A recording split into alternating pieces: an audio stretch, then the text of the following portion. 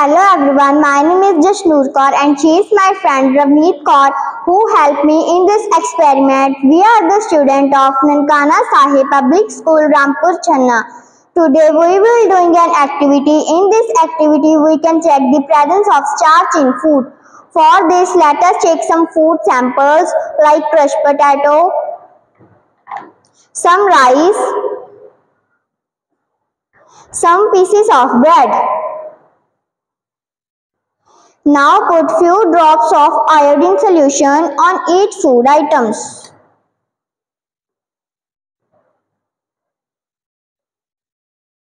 Take it carefully.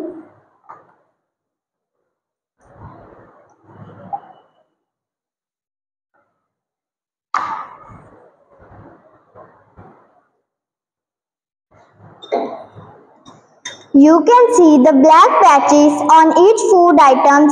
This indicates presence of starch in food. Thanks. Have a nice day.